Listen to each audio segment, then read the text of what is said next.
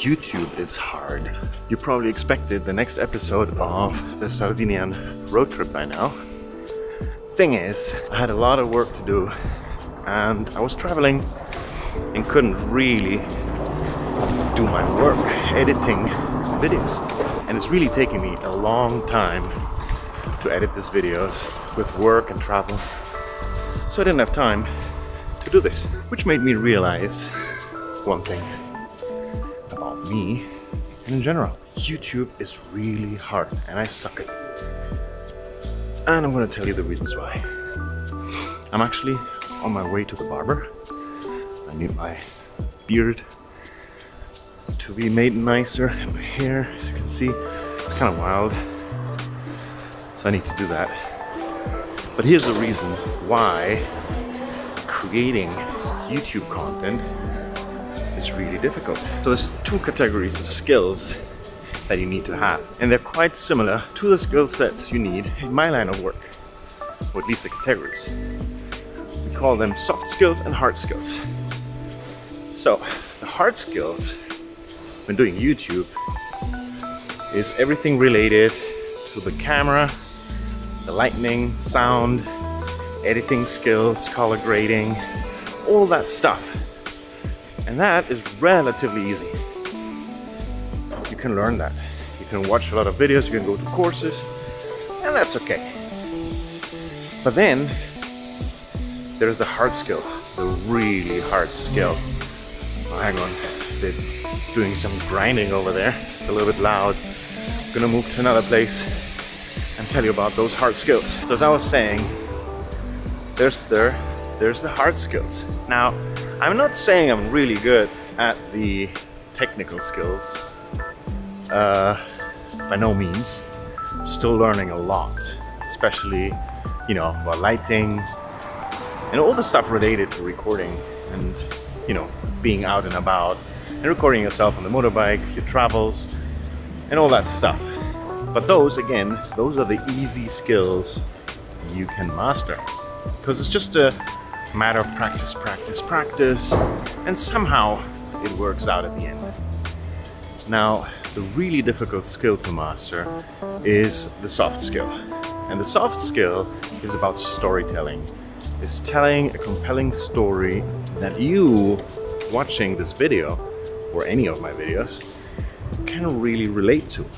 And that is really, really hard. And I really suck at it.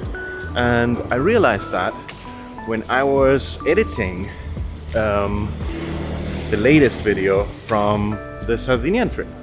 It's a nightmare. I can't find the story. I mean, there's a little bit of story, but it's really difficult to put it together. I think one of the worst things you can do when you're trying to post content for your channel is just go out with a camera and record and just record and hope for the better. So yeah, that's the thing that I wanted to tell you. I really, really suck at telling a story. And I'm trying to get better.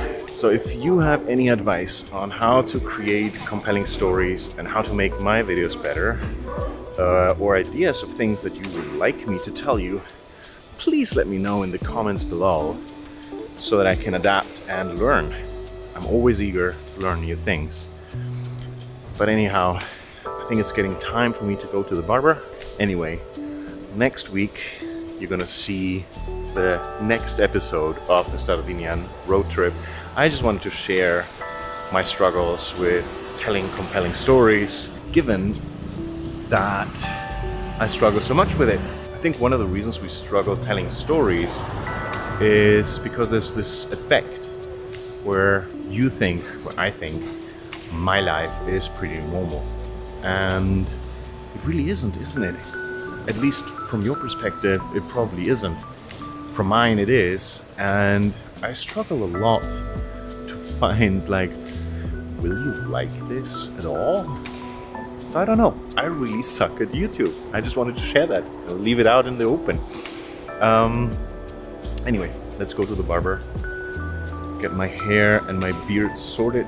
I have a conference to attend. It's an online conference, and I want to look good for it. All right, let's do this.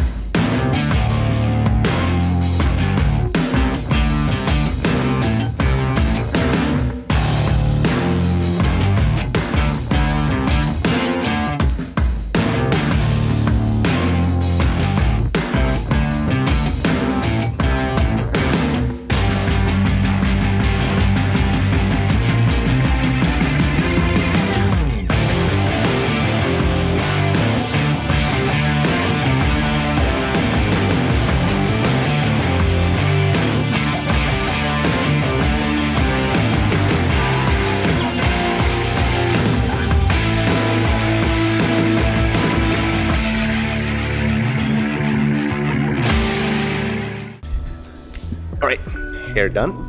And now on my way back home. But anyhow, as I was saying, storytelling is really hard. And I'm trying to improve. And I'm trying to find stories to tell you about my life and my travels. But I struggle with that. Anyway, next week we're continuing with our Sardinian road trip. So, up until then, have a great time.